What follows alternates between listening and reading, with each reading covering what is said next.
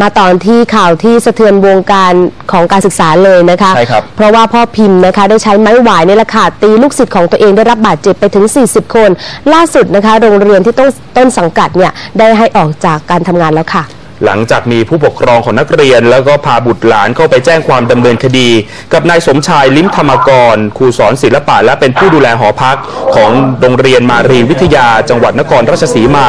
ที่ลงโทษนักเรียนด้วยหวายพันเทปสายไฟ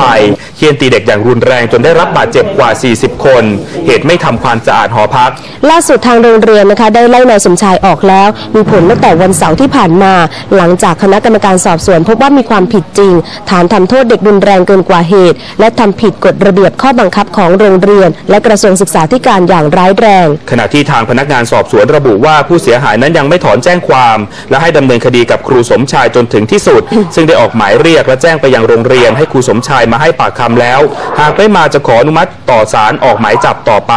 นายชันวิทย์ทัพสุพรรณนะคะผู้อำนวยการสำนักบริหารงานคณะกรรมการส่งเสริมการศึกษาเอกชนนั้นบอกว่า จากการประสานไปยังเขตพื้นที่การศึกษา และทางโรงเรียนก็พบว่าโรงเรียนได้เจรจาจนผู้ปกครองไม่ติดใจเอาความกับโรงเรียน เพราะได้ไล่ครูสมชายออกแล้วนะคะ แล้วก็มอบเงินค่าทำขวัญให้กับนักเรียนที่เจ็บหนัก 2 ราย รายละ 25,000 บาท ส่วนรายอื่นได้รับค่าทำขวัญลดหลั่นกันลงมา พร้อมกับกำชับให้โรงเรียนคัดเลือกครูคนใหม่ ที่จะเข้ามาดูแลนักเรียน ต้องเป็นบุคคลที่เข้าใจเด็ก แล้วก็รู้จักปณีประนอมค่ะ